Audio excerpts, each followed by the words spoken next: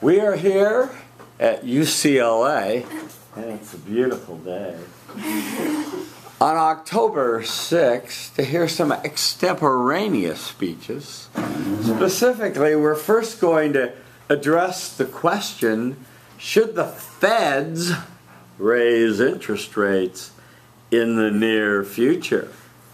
Okay, hi, name is Madison Bachburn, and Hi, uh, Madison. like our teacher said, I'm going to answer the question, should the feds raise interest rates in the near future? I want to start, start off by saying maybe a little bit about what the Stay in Fed the is. power stance. Uh, maybe what the Fed is and how interest rates relate because not everyone may know what that means. Let's say, for example, the Fed is like a teacher and its student is the United States economy. The Fed grades its student throughout the year and eventually has to decide if the Fed will pass the class or not. I mean, if the economy will pass the class or not. If the Fed determines the economy is strong enough and healthy enough to handle the uncertainties and obstacles that come with passing the class, they will raise interest rates. If they deem the economy unfit to do so, they'll keep interest rates low. Uh, I also want to start by saying how this pertains to all of you because it actually is a really important issue and affects each and one of you greatly. Most of us are going to be soon to be college grads and we're thinking about applying for a job or maybe buying a car or a home and paying off student loans. And with an increase in interest rates, that makes all those things much more difficult for each one of us. The three main reasons why I think the Fed should not raise interest rates in the near future is first off, consumer spending is good for economic growth. Second off, the international economy, economy is not healthy enough or strong enough to handle handle raising interest rates. And third, and finally, unemployment is still not at target rates. The first reason why I think the Fed should not raise interest rates is because consumer spending is good for economic growth in the United States. Uh, basically, when interest rates are low, people are in a borrowing or spending mindset. So people are more likely to go out and spend on goods and services and to meet the demands of consumers. Workers or companies hire more workers, therefore more people get paid. Therefore, there are more consumers in the economy who raise demands and the cycle continues of uh, more goods and services being produced and more people being hired, which is a really good thing. But when interest rates are high, it's a saving mindset. People are, are more likely to save their money because it's more lucrative, they get more returns. So then uh, people don't spend as much on goods and services, the demand goes down, and people get laid off. And unemployment raises. So uh, I think a really good point by uh, Carl Russell of the New York Times, uh, he notices that the biggest borrower in our whole economy is the United States government. And if interest rates do raise in the near future, they'll be the ones most affected. So things that they do like public services, like fixing roads or building schools, will be greatly affected. And overall, it'll really hurt our economy if the government can't spend money. The second reason why I think the Fed should keep interest rates low at this time is that the international economy is pretty unstable for a various amount of reasons. Uh, some include that China's economy right now is on the downturn. They just devalued their currency. Also, global stock markets are also in a slump. Oil prices are going down. A host of reasons make the economy really unstable at this time. Again, like I said, when interest rates are low, people have a borrowing or spending mindset, and that includes other countries. So they'll be more likely to buy our products and we'll be able to export more, increasing the global economy and our own economy here in the United States. But if we raise interest rates, again, that's a saving mindset, so people are less likely to purchase our goods and services, decreasing not only our economy, but the growth of the international economy as well. Uh, the Federal Reserve officials stated on September 17th, recent global economic and financial developments may restrain economic activity somewhat and are likely to put further downward pressure on inflation in the near term. Basically, the Fed made a statement saying now it's not a great time to lower interest rates. The third and final reason why I think the Fed shouldn't raise interest rates at this time is because of the unemployment rate. Although it is significantly better than in the 2008 recession, it's still not at ideal rates. I think when people look at the uh, percentage on its own, they don't understand that unemployment rates don't include people who have just stopped searching for a job in general. Those people are called discouraged workers and they're not included. And the recession lasted so long and was so severe that the amount of discouraged workers has really increased and there's no way to measure that or know that exact number. So even though unemployment rates have gone down and that's excellent, I still do not think that they meet target levels that to make our economy strong enough to be able to handle an increase in interest rates. Again, when interest rates are low, people are more likely to borrow and spend money, which means more people are buying goods, the demand for goods goes up. And to fulfill that demand, companies have to hire more workers and pay higher wage rates, which again increases our economy and uh, increases growth altogether. Again, I want to reiterate the importance this has to each one of you because we are about to graduate, we're thinking about paying off student loans, looking for jobs, maybe buying a car, or maybe a house if we're lucky, or an apartment even. And all those things will be like greatly, greatly affected if interest rates go up. So it's really important that we keep in mind that this does have great effects on us, even though it kind of seems far off in the distance in the government that we have no say. Again, I want to reiterate my three main reasons for thinking that the Fed should in fact keep interest rates low is because uh, first off, their uh, consumer spending is good for the economy.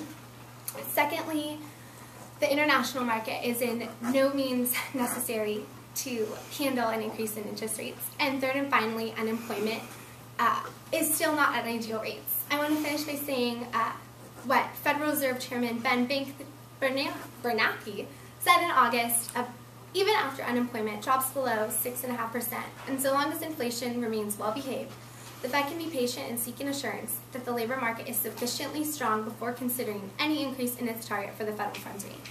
Which means at this time, even the Fed isn't so confident that raising the interest rates is the best thing at this time.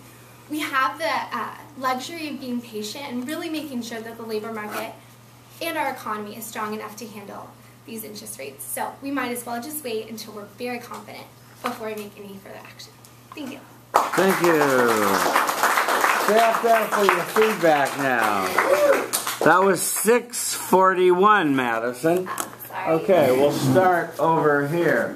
What did you like? Stand up, say your name, and say what you liked about her speech. Hi, my name's Charlie. Hi, Charlie.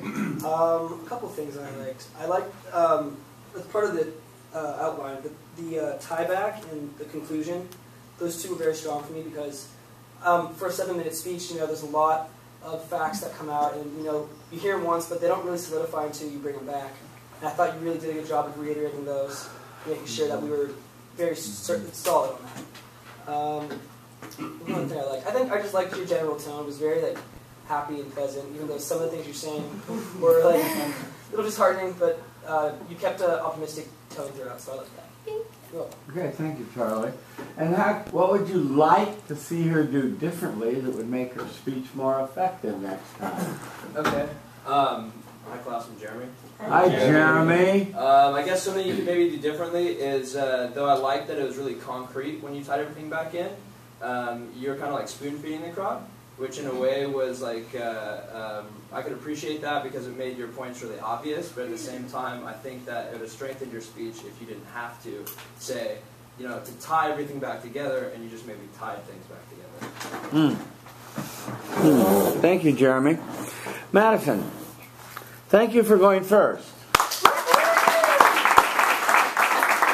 Thank you for breaking the ice. Now, let me give you some feedback and tell you what I'd like you to do to make this a little bit more elegant. And really, these comments are directed more toward you out there because it's too late for Madison, but not too late for the rest of you because your speech is in the can, shall we say, right?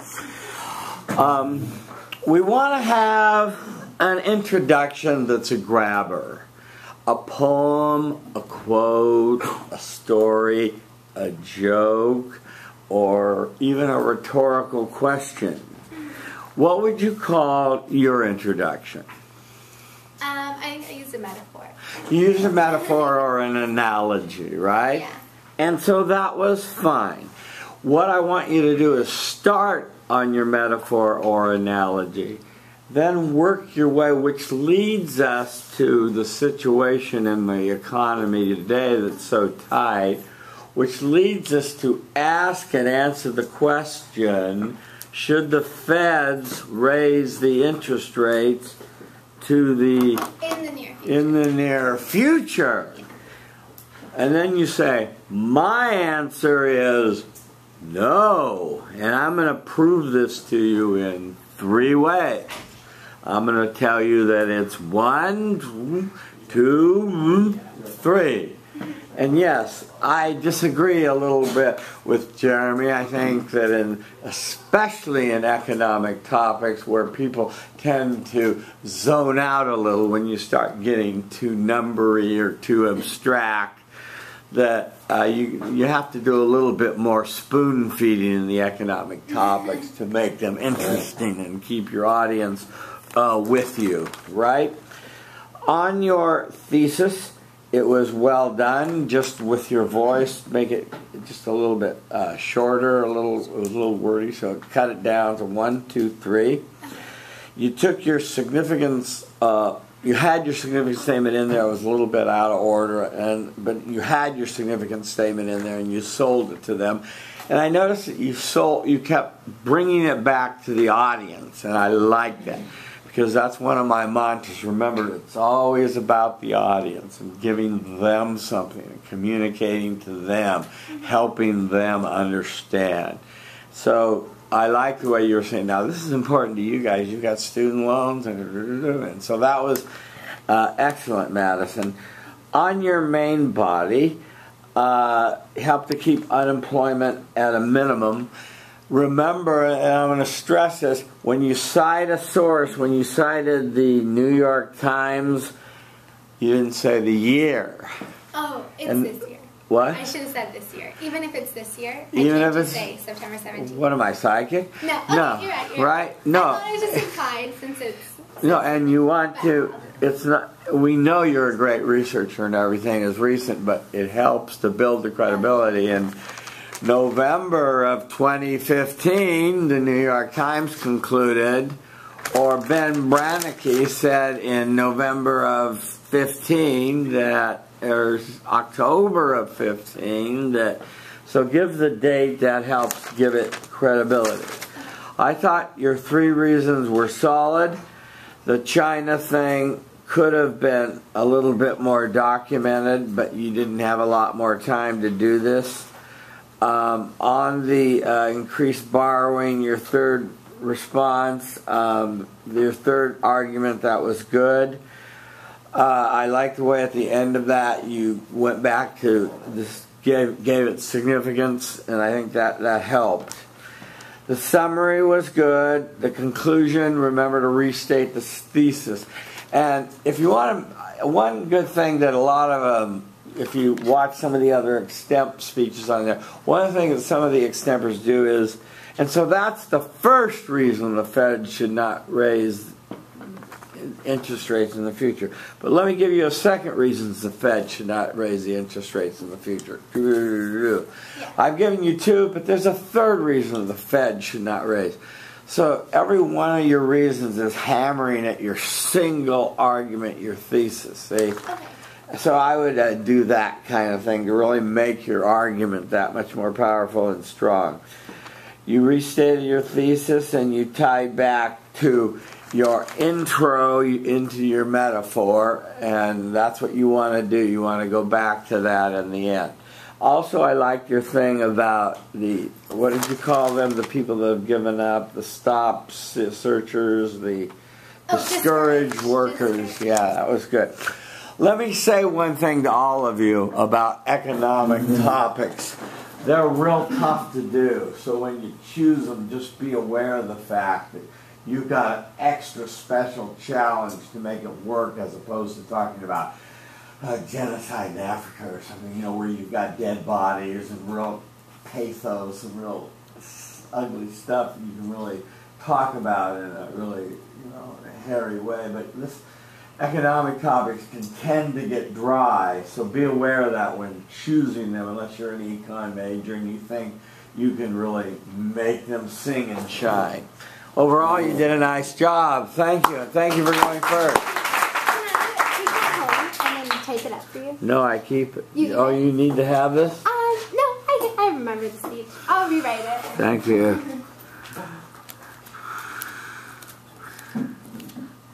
Do we have another volunteer? Yeah. Great. Do you have an outline? Yeah. Great.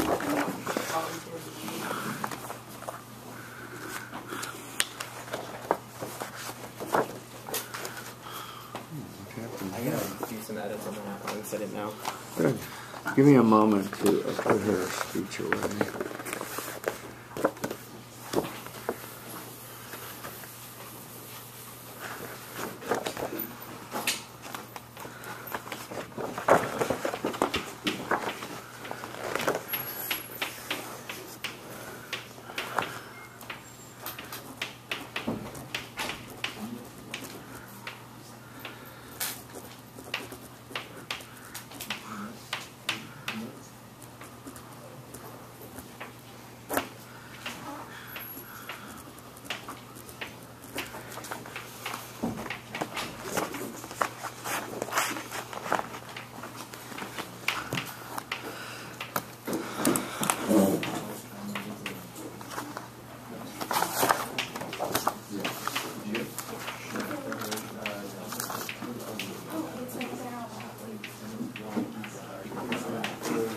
Oh, while he's putting his topic on the board, were there any, are there any econ majors in the house? Was Madison full of I mean, uh, bumblebee? Uh, what did she miss? Help her, help us out, enlighten us. I mean, it was Share something with her. it was kind of simplified, which is, I guess, what you're gonna expect. Which from we have to do, yeah. Um, I general tendency. Stand up, class. Gone again. Um, I think the general tendency now is they're gonna start raising interest rates. So the argument, I'm not sure, if I were her, I probably would argue that they should raise interest rates because that's what the Fed's probably gonna do anyhow. Oh, really? Uh, when? Dep- It depends on a lot of things, but, but, um, one of the arguments is that, is that in case of a, the interest rates are basically at zero, so they can't go any lower, and if Yeah. there's another problem, another economic crisis or whatever, there are no more tools. There's no Yeah. one to, yeah. So, and they've been doing what they call OMOs, so open market operations. Um, I'm not sure if that's interesting, but and they've been doing that for a really long time. You have to kind of wean the economy off of it sooner or later, and it's been a while. So, your prediction, your opinion is they're going to raise it soon. And you sh- you're, you're saying she should have waffled a little on her opinion. Let's hear from, thank you. Let's hear from another econ Oh. major that could offer something helpful to her analysis. That was you. You said you're an econ I major, know, right? but I don't know what, she did good. I don't. She did well. She did well, I don't hmm. disagree with her. I, I wouldn't want the, it's a question, I think it's an open-ended question that anyone thinks, he wants the interest rate stuff, I don't know why, but we don't, so. I agree with her. Yeah, I mean, I asked him pointedly how he knew they were gonna be going up, because I, I've been hearing students in my class say they're going up for two years. So I'm a little cynical about hearing they're going up any day now. Yeah, I'm, I'm sure they will, but They, sure they will. the question but- was, should we say no? It's Yeah. going to. Will it? Yes. Should it? No. Okay. Okay, the camera is running and we have Cody before us. To address the question, will Hillary Clinton's email scandal play a major role in the Democratic primary? Oh, you're tall. Just a moment. It's the first time I've ever heard that one. Sorry about that. Well, you're taller than Madison. Okay.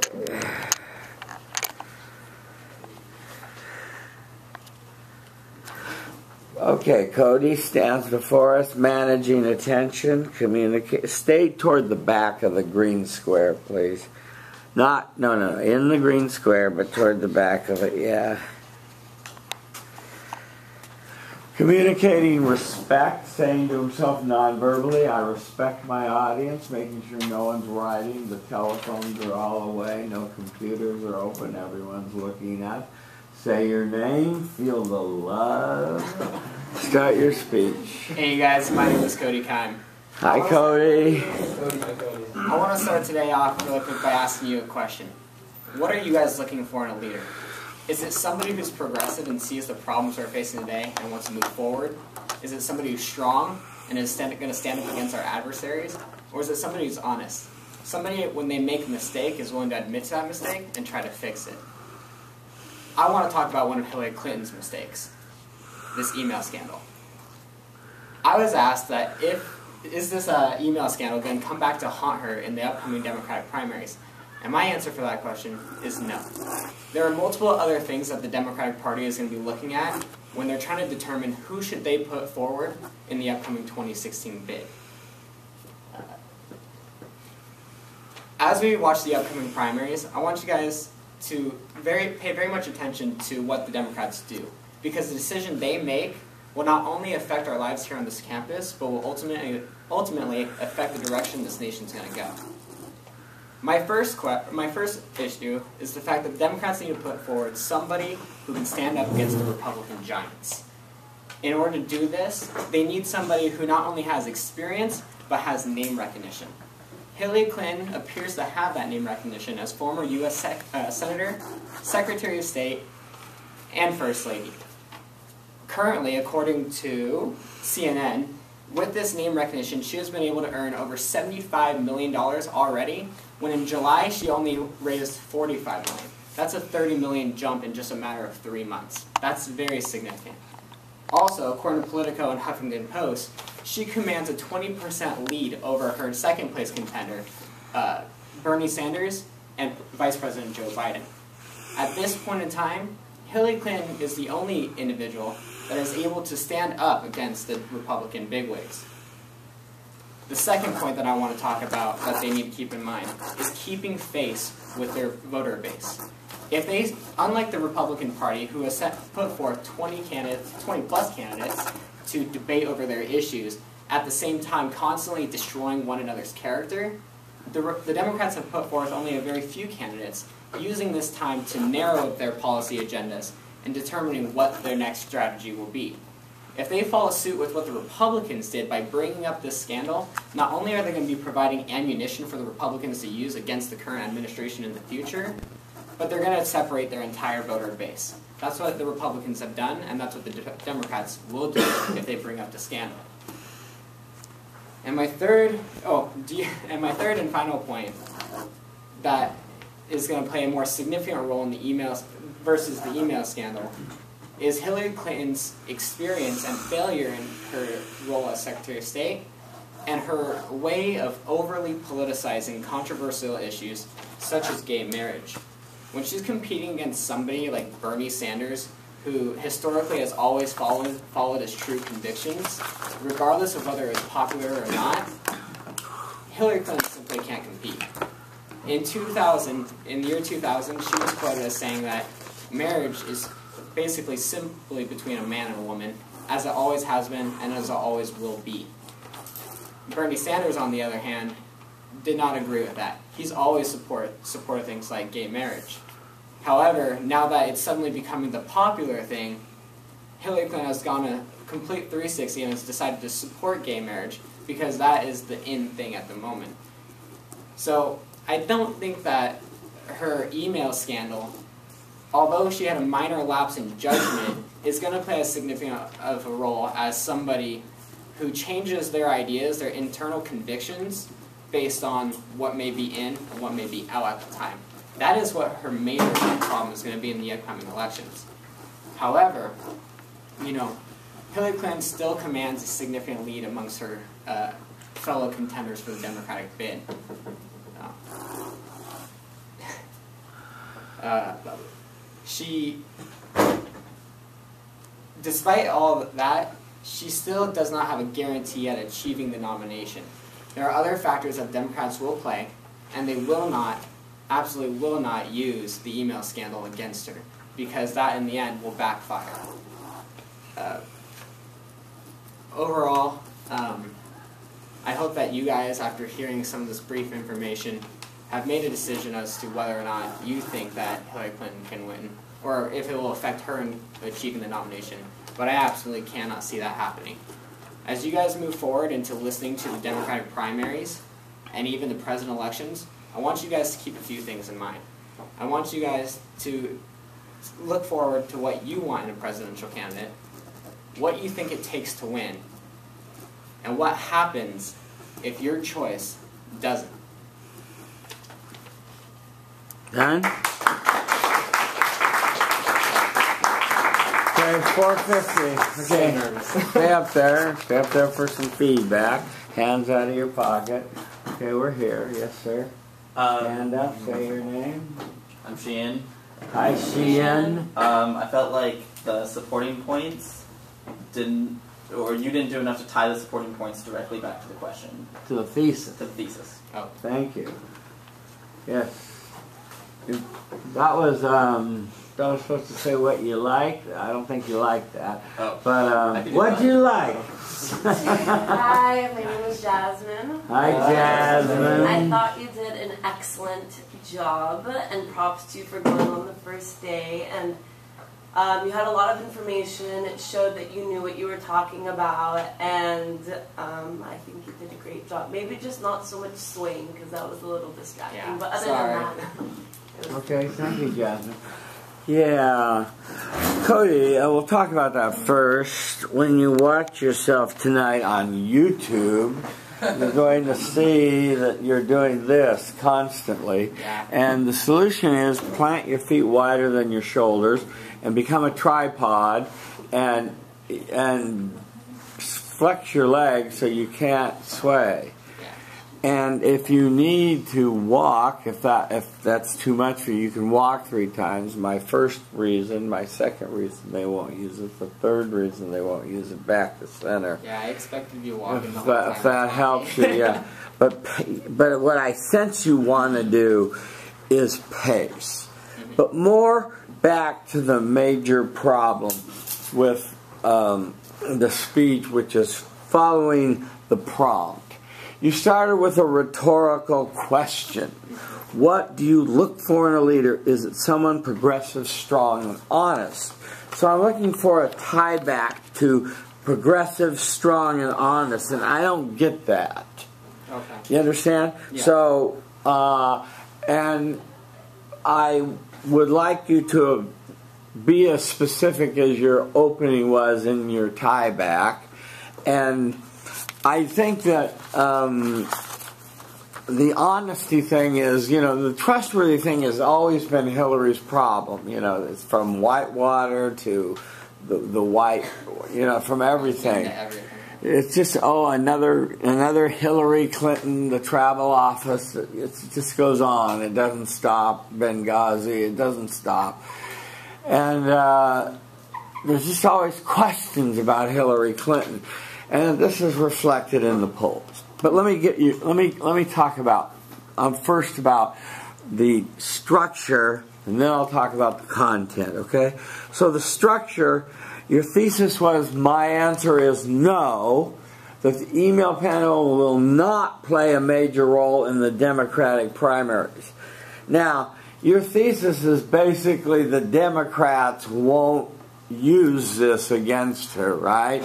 Uh, that that would be suicide or something. It would it would give Republicans, uh, you know, the uh, upper hand what you fail to acknowledge in the holistic sense of it is, you know, the Republicans are holding hearings and things are going on in the press, and the New York Times is running stuff daily, and the Wall Street Journal is printing, you know, lists of Hillary's lies when it comes to the email scandal. There's a lot of coverage on this from her press conference to now. Uh, things that she's not been truthful about about the email scandal. So uh, I think that, that that that that sort of is problematic.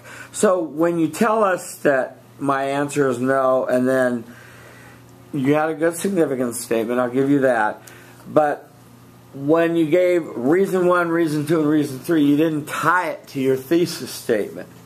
and you needed to do that more. Reason one why they won't be used in the Democratic primary is succinctly. Oh. Reason two is succinctly. Reason three that won't be used in the Democratic primary is succinctly. And then, in summary, here's why it won't be conclusion and then tieback. You had the parts here, but you didn't quite follow them. As for the content of your analysis, let me. I don't want to completely. I liked your speech. I like your speaking style. I like. I think you're a sincere speaker. I didn't see any research here. I didn't see a single citation. And there's a lot out there.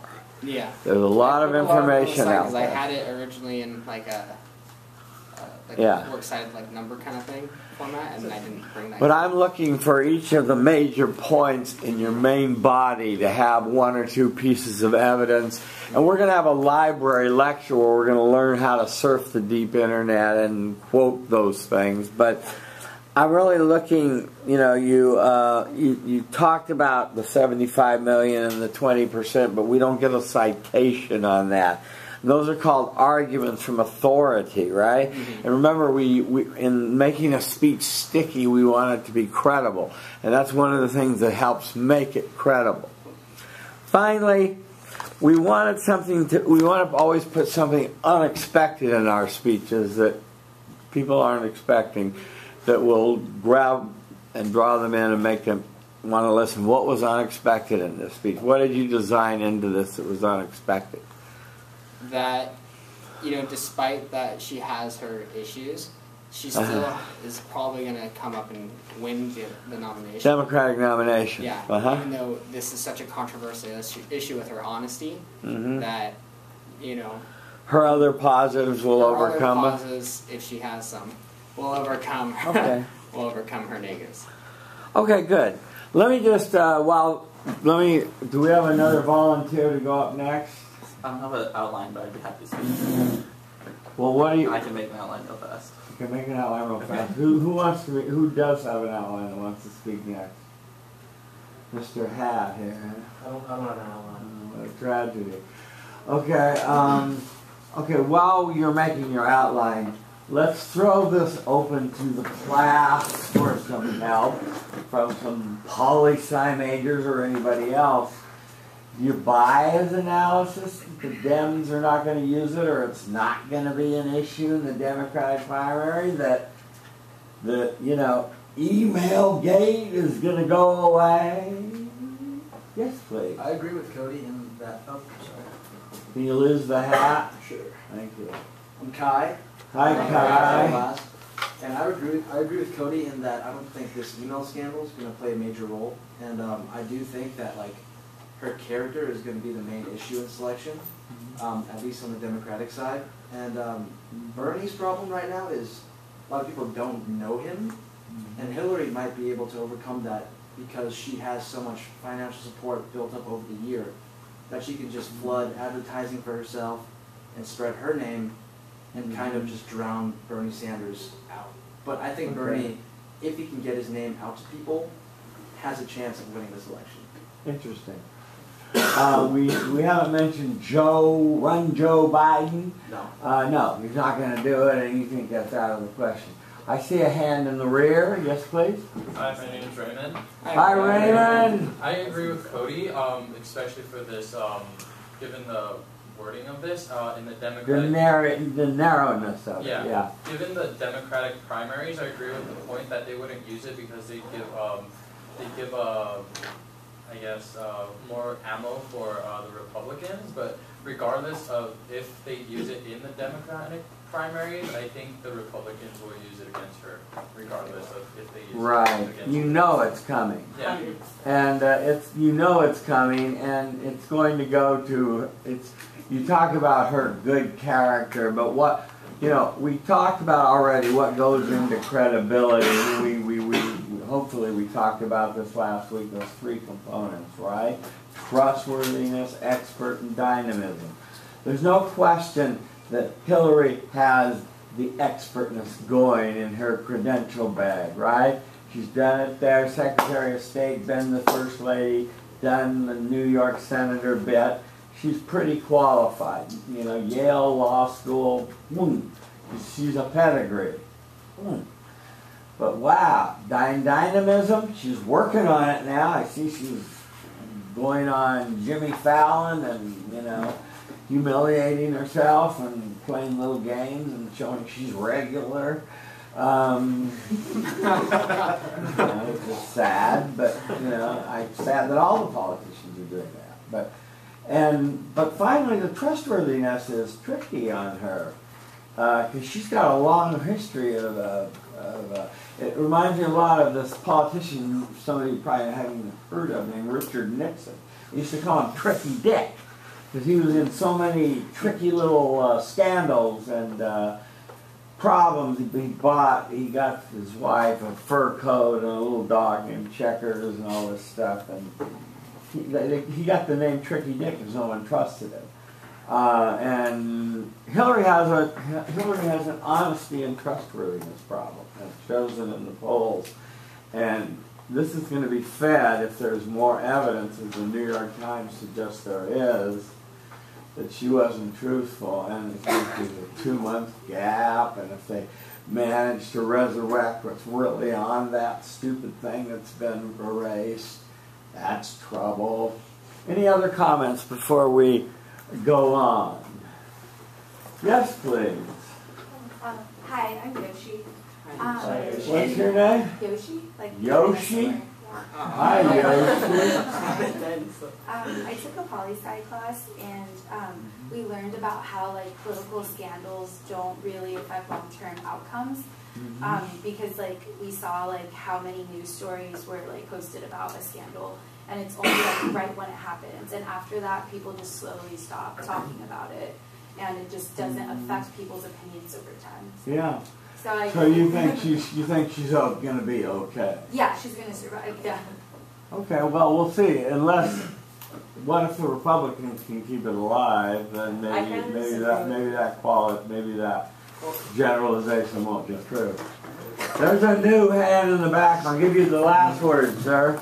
Um, Jeremy, I was Hi, wondering Jeremy. though, uh, with uh, and pertains to Hillary's uh, situation, how her husband's prior dishonesty might also kind of impact America's weariness towards like the family. You know what I mean? A Bunch of liars. Monica Lewinsky, the blue dress. Right. She just did a TED talk, by the way. Monica Really? Mhm. That's my history. She just did a TED talk. What was the topic? Her The scandal. blue dress. Hmm.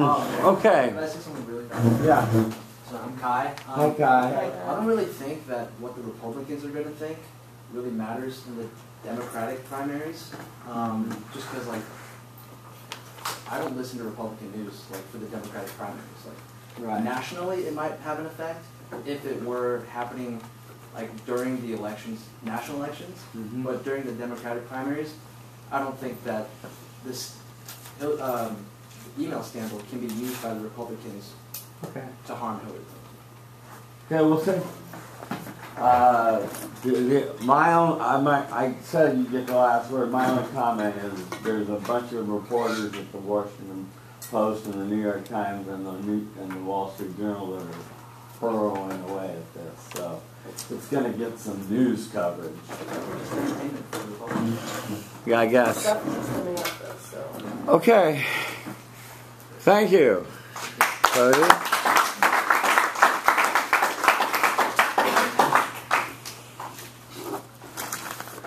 Okay, rock and roll. A rough outline. Very good. You You want want to to, back question? please?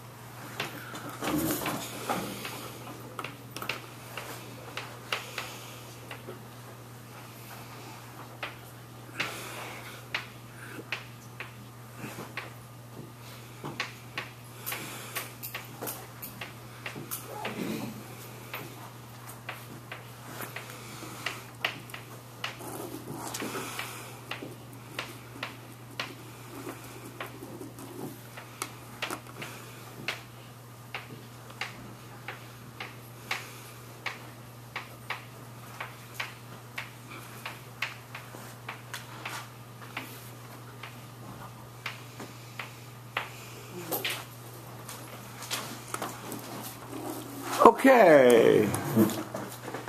Sheehan stands before you managing attention. She's reading. Communicating respect non-verbally. Finding friendly eyes near the front and the center. He's about to address the question, are earthquakes due to fracking an acceptable price to pay for cheap natural gas? Hi, my name's Sheehan Parker. Hi, Sheehan. I'd like to bring us back to the time in 1906 when an, earthquake struck the northern part of the United, uh, more, northern part of California. It was known as the San Francisco earthquake because after the earthquake destroyed a number of buildings, it also severed gas lines in San Francisco. Together, the earthquake and the fire that ensued from the severed gas lines destroyed 80% of San Francisco. In 1906, this was thought to be an act of God, and there was nothing that the people could do, no option that they had, no choice that they had to make. Today, however, earthquakes continue to strike the United States, and now, in some cases, we do have an option to make, and we are faced with the question are earthquakes due to fracking an acceptable, an acceptable price to pay for, the, for cheap natural gas? I will propose that the answer to this question is no. These earthquakes are not an acceptable price to pay. The significance of this question, not least the 3.8 million people who live in the state of Oklahoma, their, the things that they own, their houses, their cars, and most importantly, their lives, plus the millions of people who live in the greater region in which these earthquakes are affecting them.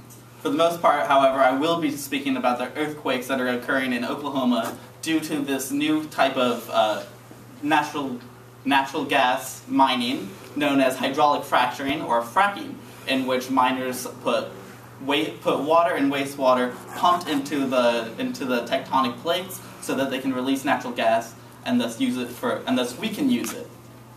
This question, uh, this question, I'd like to analyze, anal I'd like to analyze for a second uh, before I jump into the points which uh, I believe will show that the answer to the question is no.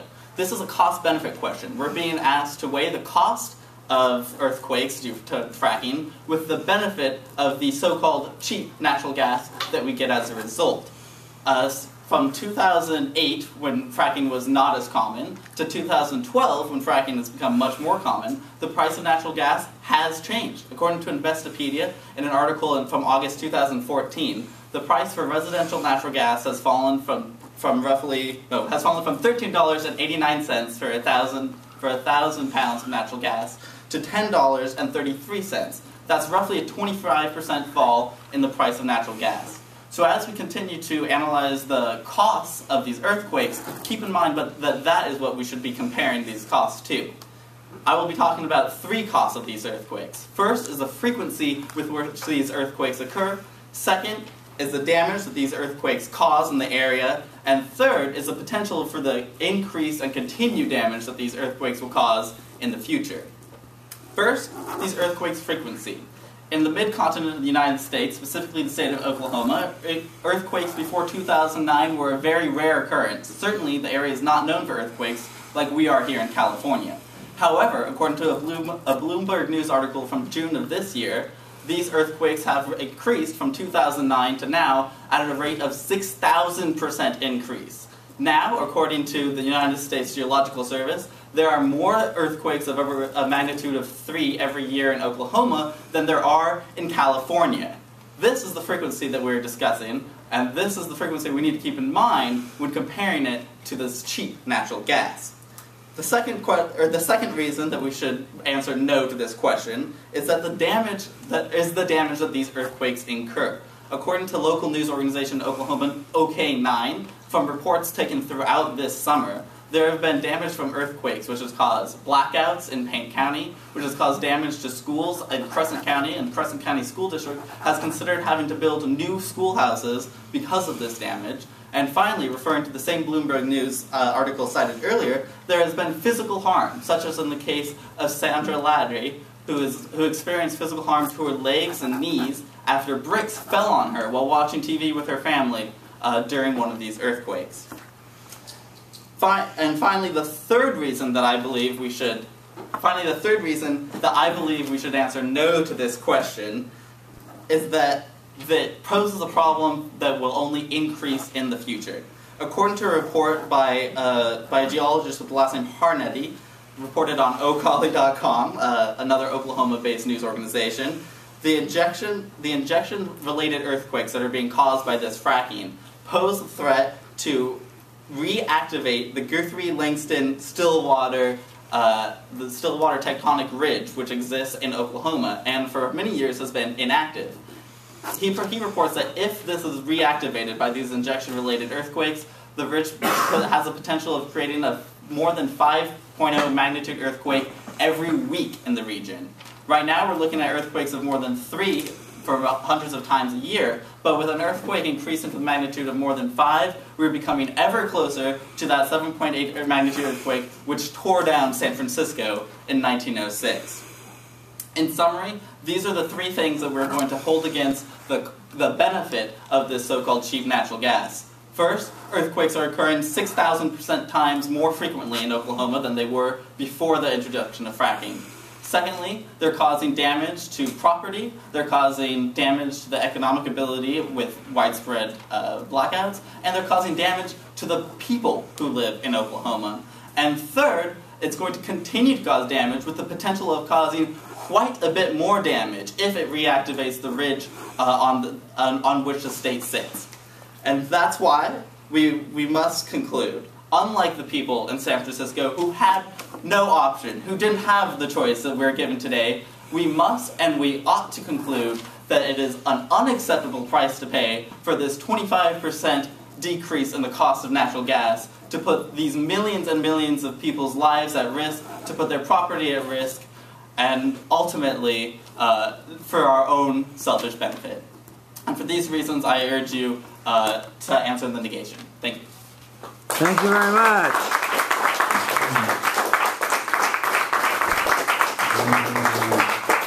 Where are we? Here. You Me? did already? Yeah. okay. Okay. Hi, I'm Bridget. Hi, Bridget. Um, I really liked your energy. Like you were talking fast, but in a way, it kind of made you have to pay attention more and like keep up with you. Mm-hmm. So I like that. You also used a lot of really good sources, and I thought the structure of your speech was really logical. Yeah, it was easy to follow. We followed the seven-part outline. Great. Yeah. The speed uh, could be varied and still get the same effect. You had uh, 30 seconds, so improvement. What would you like to see him do differently that would improve his speech next time? Um, hi, my name's Raymond. Hi. What's your name? Raymond.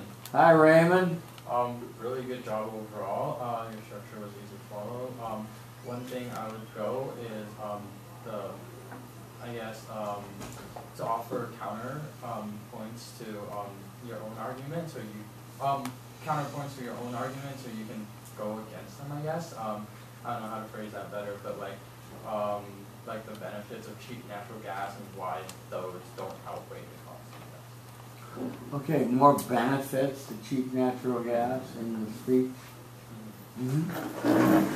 Hmm. All right, Sheehan. Um, really fine job. Uh, you're very fluent, very smart. Uh, you know how to make an argument, and you put it together nicely. I'd like to see you do this without notes. Can you trust your memory next time? I hope so. Yeah, uh, that would be good. Um, let's talk about uh, the structure and then the content. Your intro, you started with the San Francisco earthquake. What was the magnitude of that? It was at 8.3, was that right? 7.8. 7.8, okay. And um, so we're getting up there with some of these Oklahoma quakes, right? Is that your point? Yeah. And you tied, you notice you tied back to the San Francisco quake in the end. So we understood that concept of the bookends nicely. You very nicely had a interesting, smooth segue into the question, which you stated clearly, and you stated your answer, which was uh, no. And uh, you had a significant statement, and uh, we didn't get your preview till a while later, but that's okay. Um, make your preview a little clearer just with your voice, and I'm going to argue three reasons, three things, so that We know that that is uh, coming. Um, your body was good. It was consistent. All the arguments were good. You fully cited your sources with dates. They were all recent dates. That was excellent. Um, you had a good summary. Your conclusion and tieback were all good. Let's talk about the content for a minute. Um, on the issue of uh, you, you, chose a very uh, particular area, and you were careful not to generalize and to say we should ban fracking everywhere. You just pointed out that there have been problems in Oklahoma.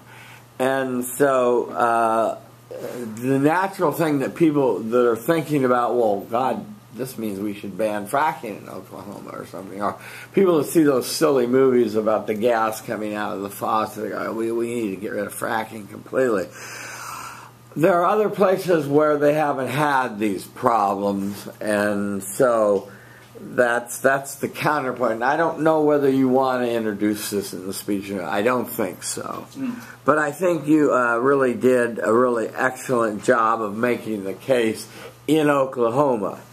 Now, do you think Oklahoma is an outlier, typical, atypical, or you, did you in your research sort of uh, find a few other earthquakes around, or a few in Texas, hardly any up in North Dakota, you know. Um, I found that few in Canada. The region of the mid-continent of the United States, uh, it was pretty common, but because of um, because of my third point, the the findings that pointed particularly to the to the fault line in Oklahoma, yeah. I decided to narrow in uh, into yeah. region. I thought that was good, especially that big fault line that's going to get bigger. Let's open this up to the group. Anybody have some conceptual analysis, either on his thesis, his evidence, or his reasoning that you would like to add, agree with, or take issue with on his speech? Yes, sir. Uh, I'm Kai. Hi, Kai. And I don't really have any issue with what Sheehan said.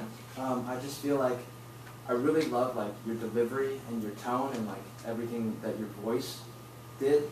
I just feel like your body would have been a better match if you changed like up your stance, maybe like and like use your arms a little bit to emphasize your points because I heard your like if I close my eyes and hear your speech, I can literally see your body like emphasizing like your words, you know, and um, just to have some congruence with that would be really nice. Those are good points. Let me teach you to walk, okay? Um, oh, I know the. Do you yeah, know the drill? Do you know the drill of the way to walk three times? You walk with your points. You walk with your points. So let's see you walk with your first point. Would be um, the first reason that we should. Where's my first point? um, the the first cost of earth the first cost of earthquakes that we need to take into account is the. Hey, stop! Stop! Stop! Stop! Stop! Now I hope you're all looking at his feet. Did you notice how he walked?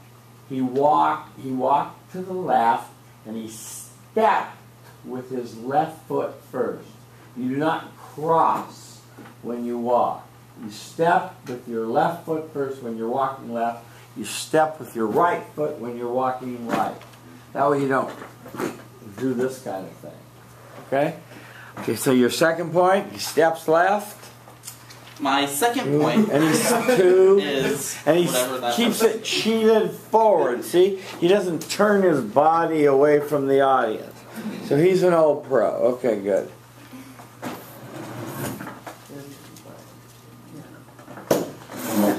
Yeah. And then back to center. So that's good. Anybody else have any comments on fracking? Yes, please.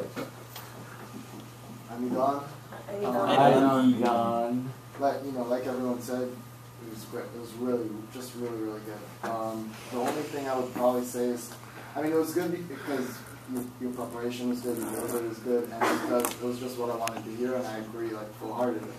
I would probably say if you really wanted to bring it home for me, it would be bring a solution, right? Because we de- people definitely want cheap natural gas. I mean, we're using less coal now and burning gas instead, and we all want electricity.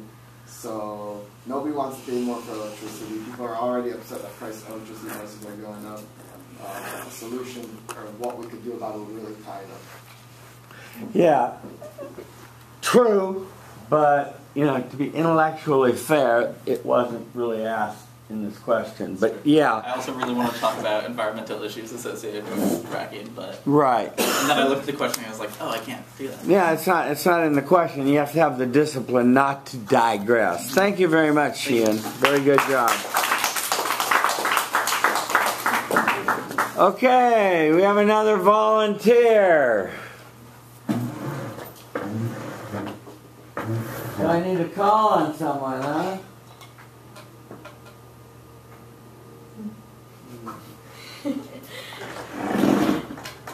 Okay, well, I'll just run my finger down the list to be fair. Did I hear a volunteer back there?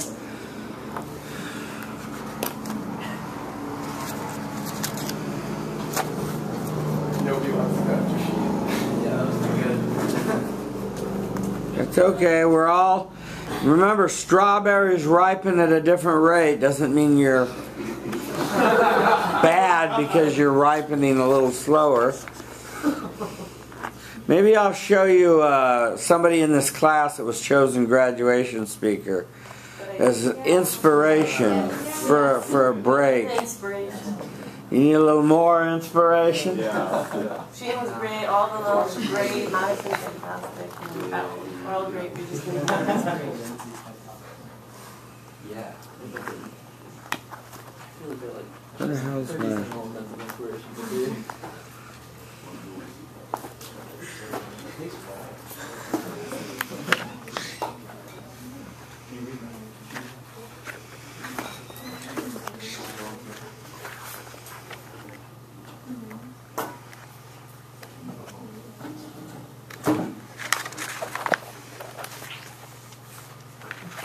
Okay, has the roll sheet circulated? Yes. Where is it? To the right, to the right. Great, thank you. Okay, let me uh, randomly pick somebody so they can be preparing. Dun-dun-dun. Kai!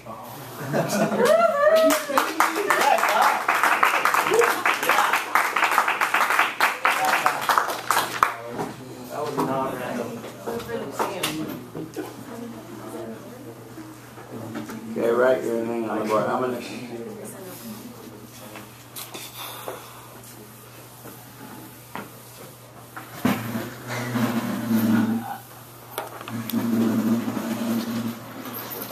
got this, guys. Yeah, Kai.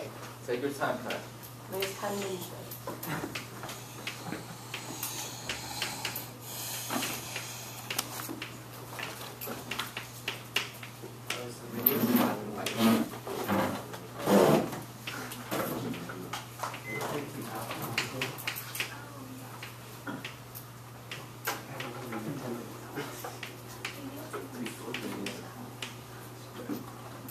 Wait.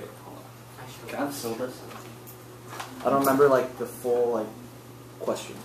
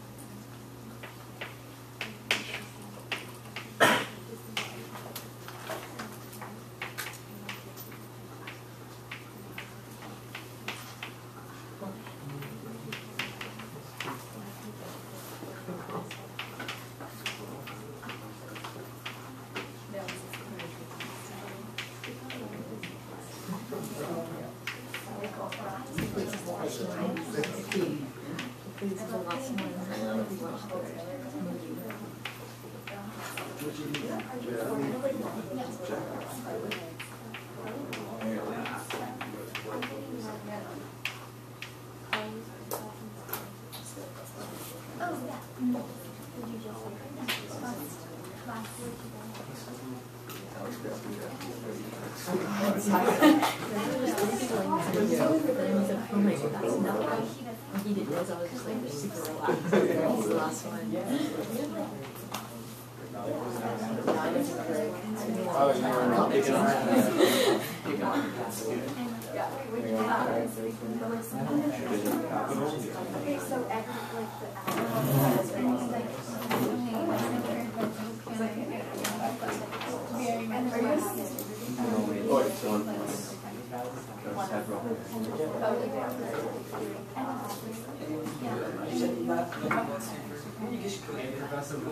Yeah.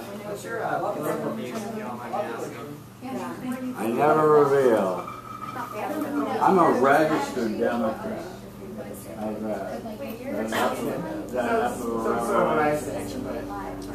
There you go.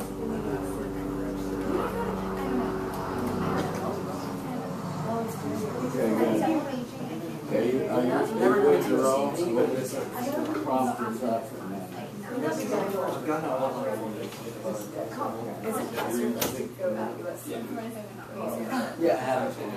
From women's tennis, Caitlin Ray.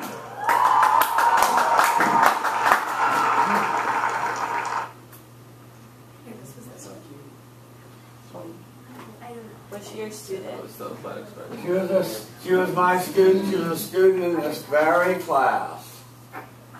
Uh, okay, so. First, I'd like to bring to the stage from women's tennis, Caitlin Ray. A little bit. Yeah.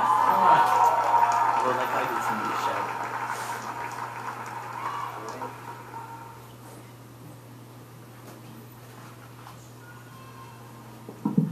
Thank you, Rick. Good evening, everyone. I'm incredibly honored to have been given the opportunity to speak with you tonight. First, I want to thank our athletic director, Dan Guerrero, Dr. Christina Rivera, and every member of the, of the faculty and staff within the UCLA Athletic Department for the support and long hours that you've invested in making our student athlete experience so special. We would not be in this position without you.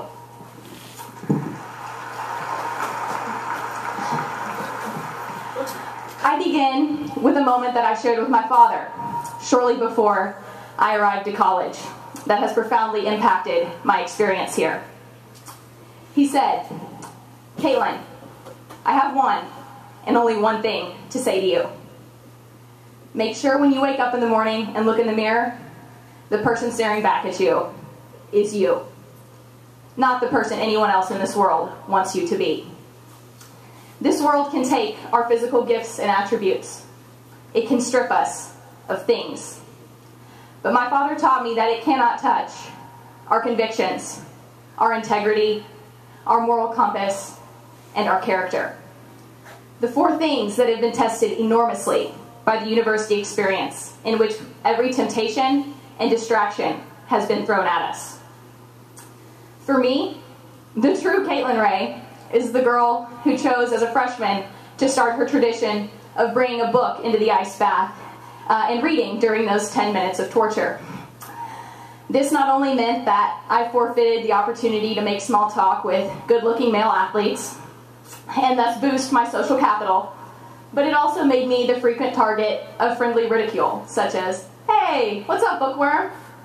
So, while the infamous stack of flashcards that I carry around may have resulted in a slightly less robust social calendar, that is who I am. It is different for us all. But the key is having the courage to be you, whatever that may look like, day in and day out. Those you lose along the way because you chose not to conform will, at the very least, respect you, which is something to which momentary popularity simply pales in comparison.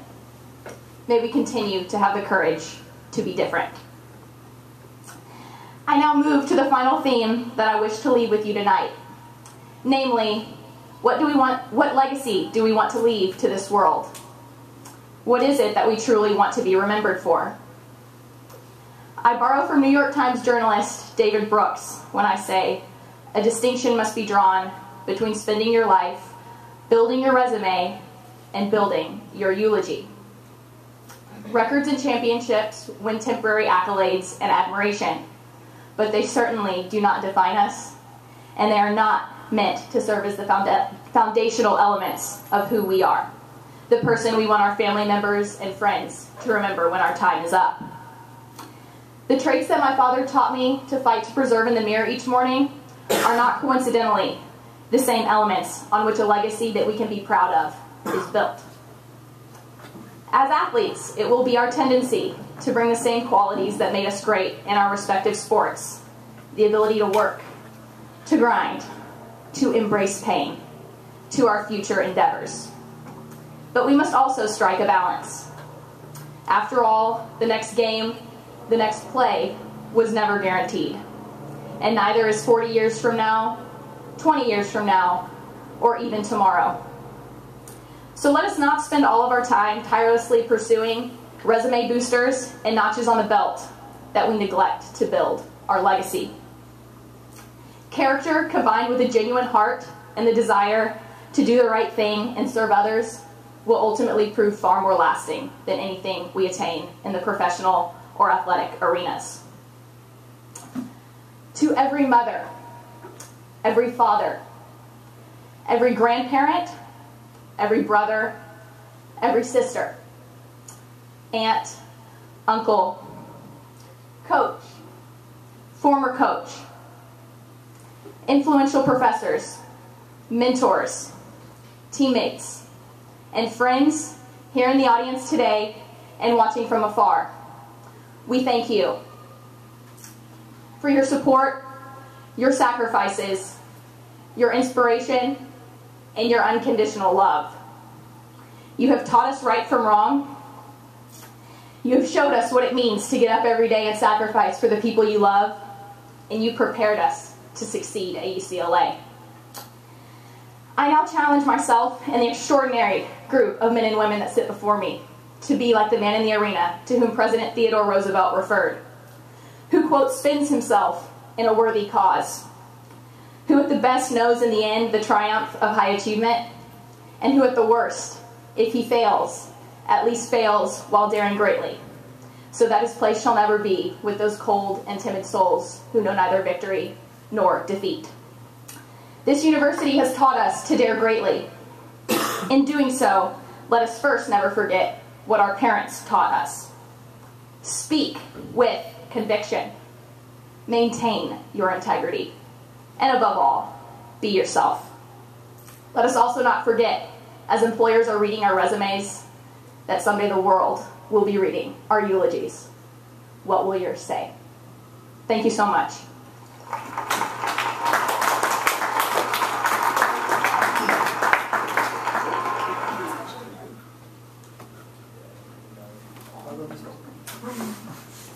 Okay, uh,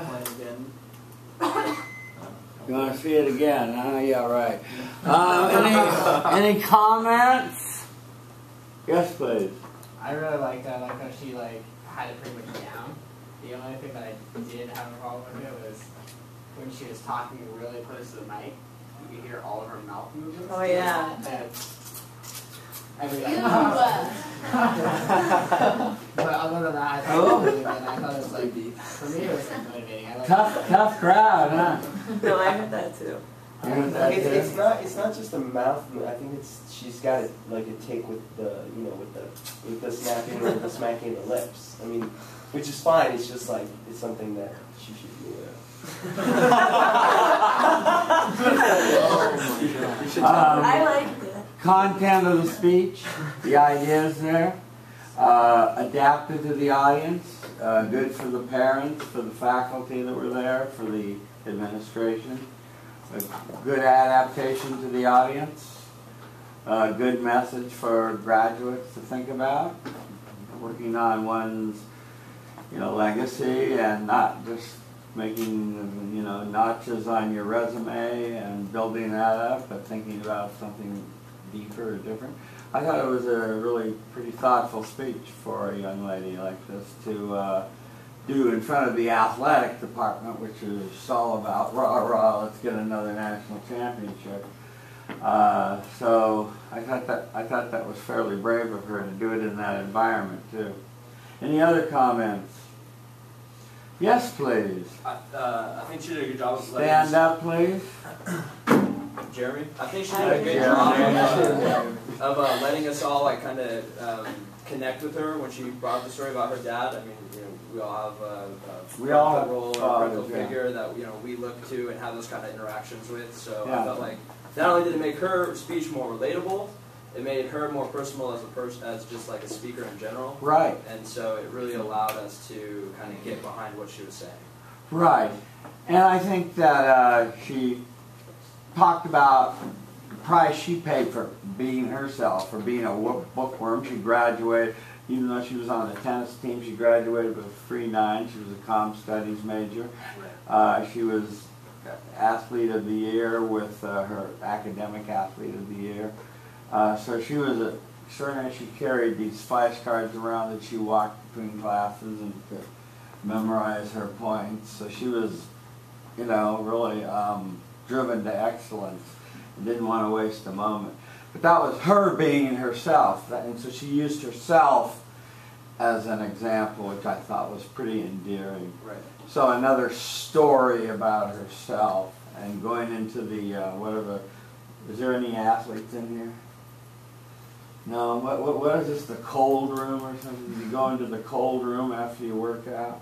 Ice bath. Ice bath. The ice bath, okay, great. You get an ice bath after you work out, okay, good. Okay, we ready? Sure.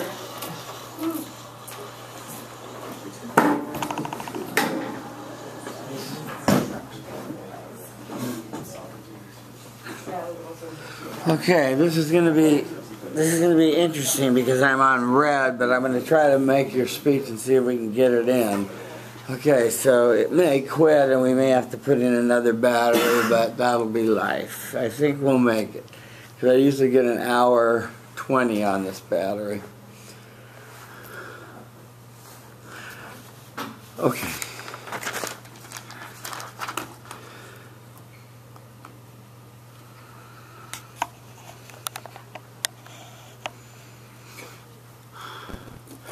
Okay, we're about to hear from Kai on the question Should the international community be wary of the new Chinese founded Asian Infrastructure Investment Bank, also known as AIIB? 呃，你们好，我叫袁玉峰，我的英文名字是 Kai。呃，我不太喜欢演讲。 Translated from Chinese, that means hello. My name is Ride the Wind, and my English name is Kai, and I don't like to give speeches that much.